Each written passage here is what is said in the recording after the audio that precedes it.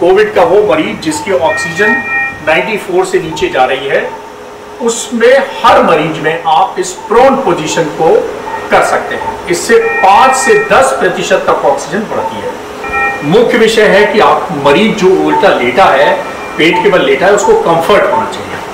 Comfort वैसे मिलता है, जैसे बहुत घरेलू तकिया, बहुत बड़े हार्ड ब्रांडेड तकिया, ऐसा ऐसा कुछ ज़रूरत नहीं है।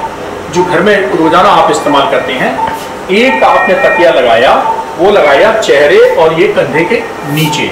एक तकिया लगाया आपने कमर के नीचे और एक तकिया लगाया आपने ये पैर के नीचे। और खास बात क्या है कि अब आप देखिए, ये जो हाथ हम डाल रहे हैं, ये सीना नीचे खुला है, ये सीना पीछे खुला है।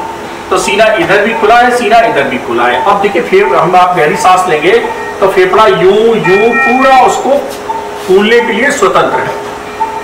पूरा फेफड़ा जब फैलने के लिए स्वतंत्र है तो फेफड़े का वो हिस्सा जो सामान्य रूप से ऑक्सीजन के आदान प्रदान में भाग नहीं ले रहा है, वो भी भाग लेने लगता है। और हमारी पाँच से दस प्रतिशत ऑक्सीजन बढ़ जाती है, हमारी चिंता दूर हो जाती है। तो आप अगर मान लीजिए पेट के बल लेटने में अगर पेशेंट को थोड़ा सा दिक्कत होने लगती है तो दाएँ और बाएँ करवट भी ले सकते हैं, इससे भी ऑक्सीजन बढ़ती है। सिर्फ़ जब आप सीधे लेटते हैं तो ऑक्सीजन का प्रवाह थोड़ा कम हो जाता है। तो इस पोजीशन से मैं फिर बताता हूँ, तकिया महत्वपूर्ण नहीं है, आराम की पोजीशन बहुत इंपॉर्टेंट है।